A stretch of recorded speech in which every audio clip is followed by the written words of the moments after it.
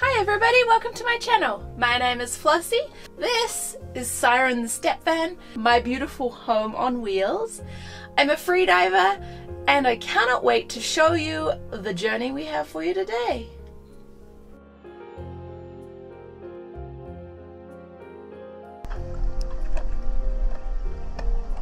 Oh my gosh. To wash all the wetsuit goop off my body. I got to try sea cucumber and sea urchin for the first time and I... Hi everybody, welcome back to my channel. Thank you so much for watching. Today we're going to take a step back in time before my bike accident. In the continuing saga of can Flossy get the step van registered as an RV, today is the day this is getting plumbed in.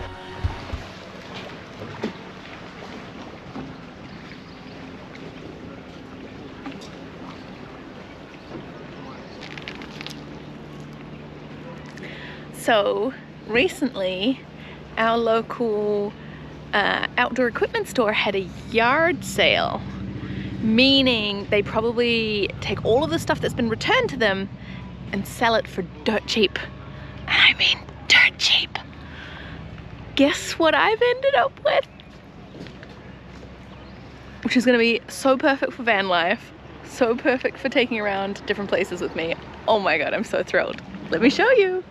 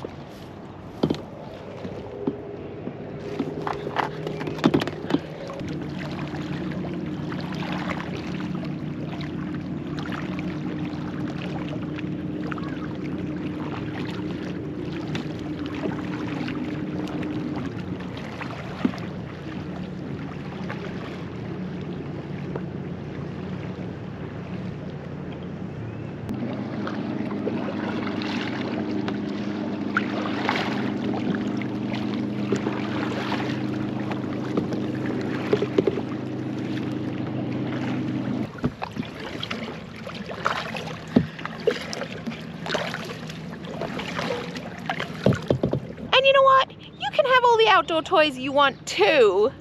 Go to your local outdoor equipment store. Ask them, what do you do with your returns? Do you have a yard sale or a end of year goods sale? I'm sure they'll do something. There is ways to have the toys that you want without paying through the nose. I do not have a lot of money and I have the toys that I wanted because I have looked out for deals. Yes, I've been a little bit lucky with timing and all of that, but you can find bargains. You can find ways to get what you want and have fun without breaking the bank. Sometimes you have to be prepared to do some work, research, and wait. Good luck. I hope you find what you want.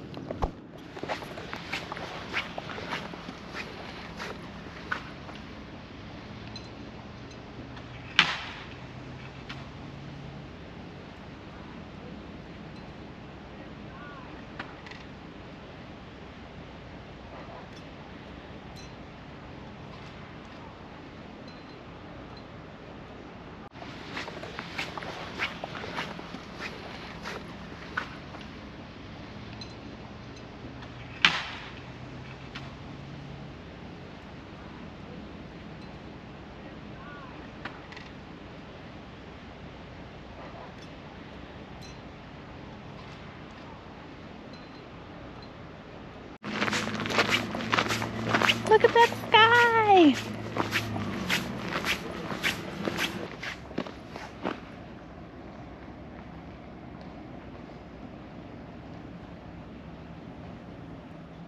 As you can see, Frank is super excited about heading to the lake.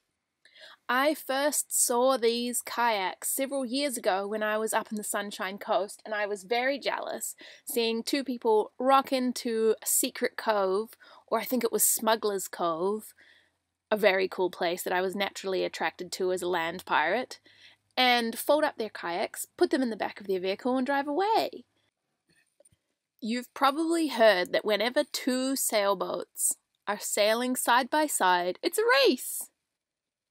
Amanda's paddleboard inflates directly via uh, a mechanical uh, pump plugged into her car battery or into truck truck's battery, and I was racing her to assemble my Oru kayak. Now I haven't assembled it a whole bunch of times, and I think as soon as I decided it was a race, I got pretty flustered. Um, but it's such an easy kayak to assemble and put together. It doesn't take very long, and the best part about it is it fits beautifully in the garage under my bed in my big van. It's so wonderful to have a watercraft that I can take with me anywhere and is light enough to just throw over my shoulder and walk down to the lake. They just clip together with buckles there's a couple of bulkheads, a place for your feet to rest so that you can stabilize the boat, a nice comfy seat. I've taken on board with me a little foam sponge in case there's any water on board and a rope in case either of us needed rescuing. I've also brought some flotation um, buoyancy things for both um, ends of the kayak. I just haven't got these in the kayak just yet, and I'll put them in before I ever take this kayak on the ocean. Unfortunately, my microphone decided to just not record any audio, so I have no sound. But Amanda was wonderful and took uh, me and Frank to a nearby lake so we could get out, do some gentle exercise, both for my recovering shoulder and for Frank's uh, arthritis. And we all appreciated getting out in the sunshine. It was really quite delightful. The lake was beautiful and quiet and cool on a hot, sunny August afternoon or end of August afternoon.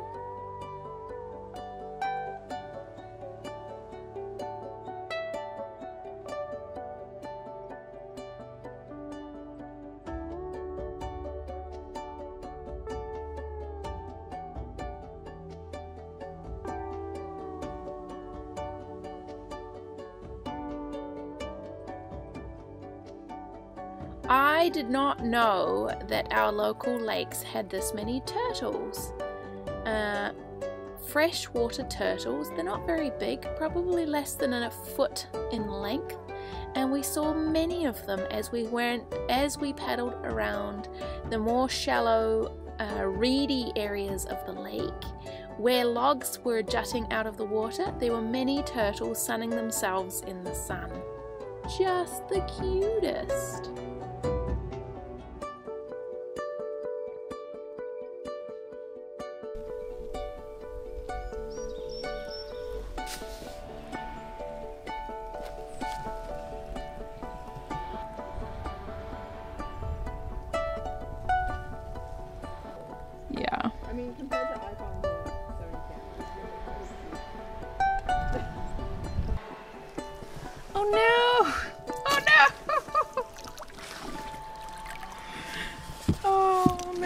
Maneuvering a kayak with one hand does not work.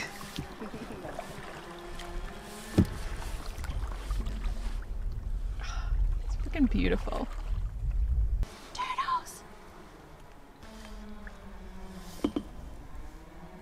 Look at them, they're so cute.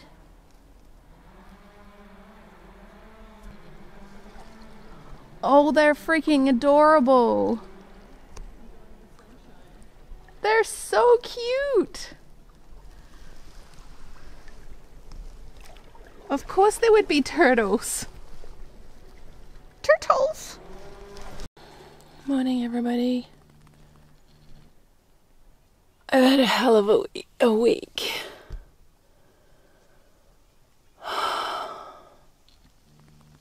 Sometimes, you know, life just gets really overwhelming there's so much to do, and everything's moving so fast.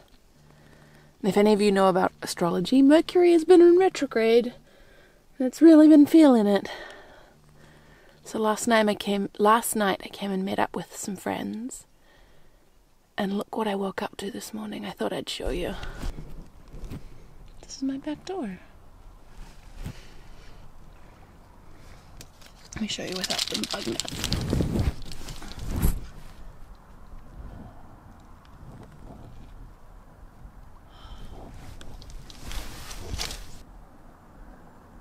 Don't want to wake them up, so I'm not going to open my sliding door because it's noisy, but I open the back doors. Because I need to turn my 12 volt power on, and the only way to get into it is down there. So, this makes it nice and easy. Oh, it's beautiful.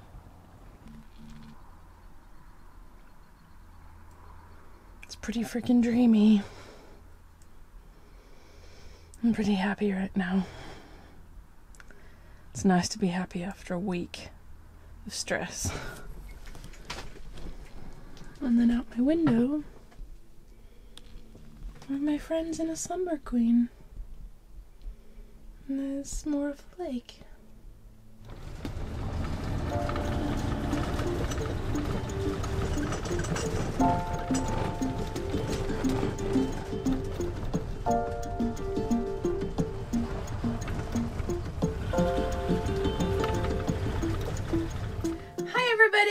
Welcome back to my channel. Thank you so much for watching. Today we're going to take a step back in time before my bike accident. I went on a freediving meetup and learned how to harvest and prepare some of our local marine sea creatures. I want to talk a little bit about harvesting and foraging food. You've seen me harvest and forage plants and mushrooms before here on this channel and I am working towards a radical self-sustainability and if the whole world implodes and the world and capitalism comes to an end, then I want to know and have the skills to be able to feed and support myself. And because we are surrounded by so much ocean here, food and eating from the ocean is a really incredible part of that. To me, it uh, is really important to have relationship with my food. Relationship with plants means understanding the life cycle of a plant. Relationship with mushrooms being means knowing which ones could kill me and which ones are safe to eat, and then how to har- harvest them, how to make sure that they continue to propagate, and how to prepare and cook them. Same with berries and vegetables. And so it is no different with sea creatures, knowing what the population's like, how they breed, how to contribute to their ongoing success and their ongoing uh, reproduction and protection. And so things like sea urchins. Sea urchins are now in abundance because some of their main predators, the starfish, have had wasting disease, and so the sea, uh, the sea urchins are now killing the kelp, and we need the kelp for other parts of the marine ecological system. So eating sea urchins is actually us contributing and helping towards the sustainability of the the life cycle underwater, which us as humans have had an effect on and created an imbalance. So I'm going to this freediving meetup um, on Vancouver Island, and it was a lot of fun. It was great to see some people and meet people who I only knew on the internet for a while, and I want to take you through that. So, welcome to this journey.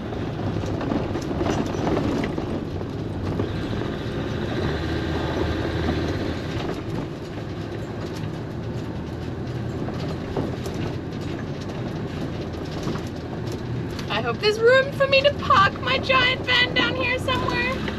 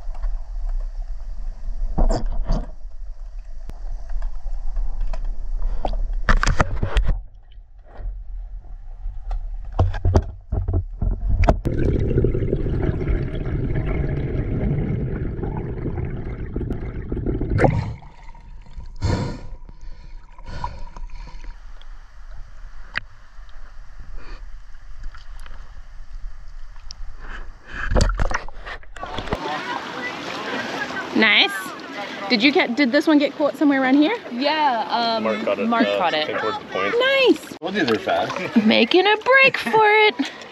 Ooh. Gotta keep an eye on those guys. Too smart.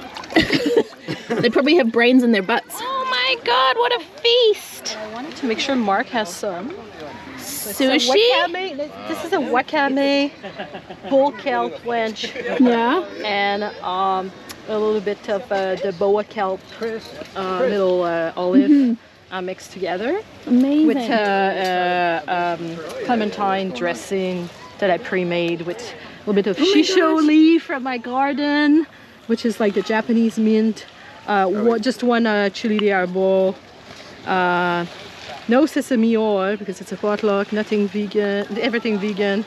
And I use a little bit of soy sauce so it mixed together. Chef extraordinaire. Exactly. The wakame that I just rinse, it's raw. Okay. So that's the uh, sea lettuce Okay. that you see like birds eating all the time. There's the bull kelp. I took some of the small blade and I uh, I cut them and then we blanch them. So it's a green seaweed, so it becomes greens once you blanch it. And I also have the uh, boa kelp. I kept some of the olive Oh, there, yeah, so it kind of add a little bit of a, the bitter taste in it. Um, and also I have a clementine, clementine dressing, and uh, it's all vegan.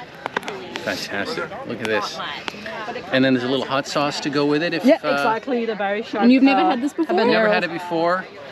This is uh, Mark Cantwell, admin of the Vancouver Island Freediving Group on our annual fifth annual beach cookout. All I can say is uh, membership has its privileges. If it was made at home, I would have rinsed it more, but we got a strategy with the water to do it. And if you want it like a spicy, Yeah, yeah, here's throw it, some on. yeah. Throw some. Because these people are great. Yeah. And you can also squish the clementine on it and get extra like, freshness. Oh yeah, go ahead. Awesome. All right. So um, I would say that yeah, go go for that. Amazing. Uh, you can Let me try it. No, but I want to. You got to get into it. Excellent. I was. Do you want to trade? No.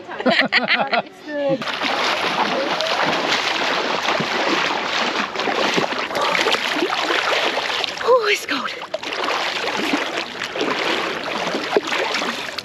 To wash all the wetsuit goop off my body. This is uh, king crab. No. But this uni is so good. It's amazing. It's not uh, spawny at all. Oh, really? Yeah, it's really good. I like the. amazing. I find the pink guys the best. Yeah. Oh, I'd love to. Oh, Oh my gosh. Mmm. Oh my god, it's so sweet. yeah, it's really sweet. I think the pink ones are the sweetest ones. Oh my gosh. Mmm. And to fact, that's an invasive species, so eating it is helping the environment, not Exactly. killing it.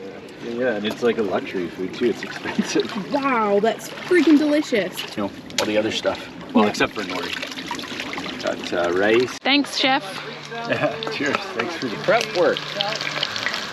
That?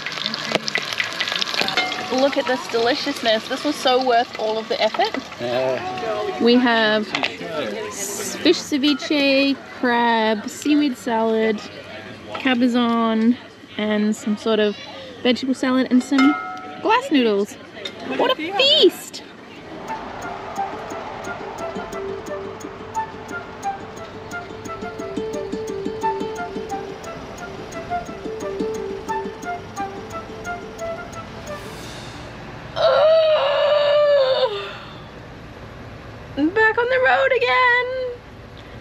Time, I've stopped somewhere freaking neat, and I really want to show you because the view is stunning. We are about 1,100 meters above sea level, and you can really tell.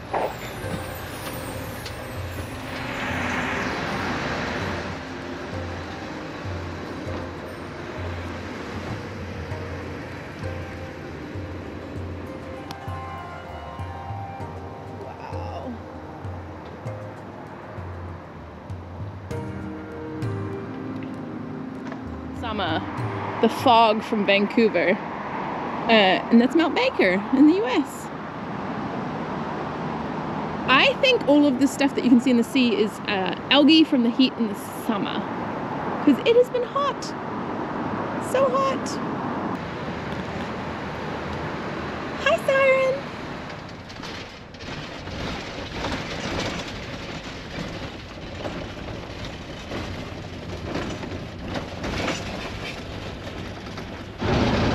Was the most amazing trip. It was amazing. I got to try sea cucumber and sea urchin for the first time and I love both of them. They're so delicious. Oh my gosh, it was so nice to meet a whole bunch of new people, some people I already knew, and get out in the ocean. And I think now I need to go put my body in a lake. I'm covered in salt, my hair feels like straw, like it's beautiful and curly and looks amazing, but it feels like it's full of as much salt as my skin is. I am very sweaty, but this drive is just stunning. Hi everybody!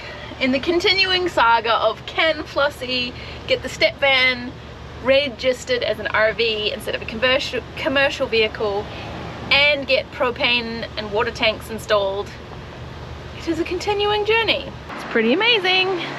Found somewhere to park. Ah, so big. Today is the day. This is getting plumbed in. I'm taking it to a shop. I've reached the capacity of what I can do. So hopefully this will all get corked in. And then under here, I'll have this water tank installed underneath and the hot water and cold water should be plumbed in and go into the tap. You want you want this hooked up, or you just want lines to? I would okay. love it hooked up. Okay. Now we might have to mount it somewhere. Okay. Um, here or over there. This line here, those wires there, are the power Okay for the pump. for the pump. Okay, so you have a pump switch. I have a pump switch. Okay. Um, the pump switch will be one of these ones. Okay. So I'm going to turn the 12 volt power on now and just leave it on till tomorrow. Okay. And then I'll just te- I'll then just test just- what one and, And see you'll which one. figure on one of them will turn the light on. Yeah. And the rest will turn one of those on. Okay. Do you want? And so here's the pieces for the sink. So that. Yay! So I'm dropping my van off here for a couple of days. As you just saw, the shop guy is gonna fix it all up, install my hot water tank, and a hot water heater, and a water tank, and do all the plumbing. Ah, finally! I'm so excited!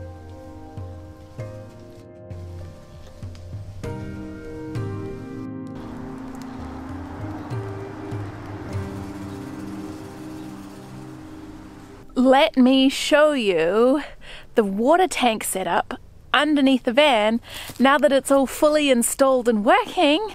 I'm so proud and so thrilled to have running water now in my beautiful home on wheels. I'm do my best not to whack my head.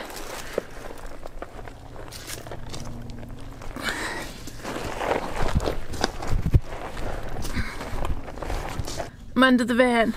You can see the bracing supports that hold the water tank. They are attached to the subfloor and the chassis. Let me show you.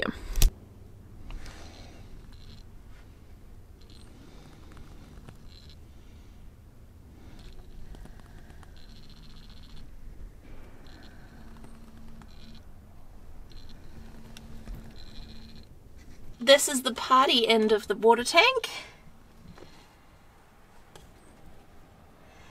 This blue one is the intake. So how I fill up my water tank. This clear one is the vent. And here you can see more of how the water tank is supported. And the braided cord is the water tank water that goes out of the tank. So you can see that even when I run out of water, there'll still be a tiny bit left. And the pump sucks water up this tube into this hole in the floor. And I'm going to be spray foaming around this hole. And in the next coming months, I'm going to also be insulating some of these pipes. Yes, my water tank is outside, but I live I live in one of the warmest parts of BC, so if the water tank or the water might freeze, it's only going to be a very small, it's only going to be a very small amount of time in the year that it's actually going to be that cold. So I feel pretty confident about it. We're quite far south, um, and we only really get a week or so of snow. And so in those periods of time, I will not be using this and I will winterize it. My waste water direct, directly out of this, and because I park rurally and I do not park in the city, uh, this is fine to drain straight to the ground. If I was ever parked in a city, I would just not pour any water down my sink. There we have it. Thanks everybody so much for watching. I hope you enjoyed this week's video. We covered a lot of things from van life adventures to freediving. Go away, wasp van life adventures, freediving, getting out and about, kayaking, and I cannot wait to continue this adventure in the future sometime soon because the next update on the van will be propane. I will finally be able to use my cook stove. I will finally be able to have my water heater running. And the after thing after that will be my power system. You might have picked up in the background of some of my videos some sneaky hints. Comment below if you've worked out what those are. I'm not going to tell you right now. You have to go back and look.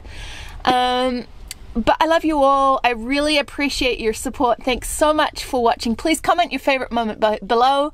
And a huge big thank you to all my Patreons. You are an encouragement and uh, an emotional support, and I'm so excited I get to share some behind the scenes updates with you all, secret videos which will never ever become public. I can't wait to see you next time. Bye.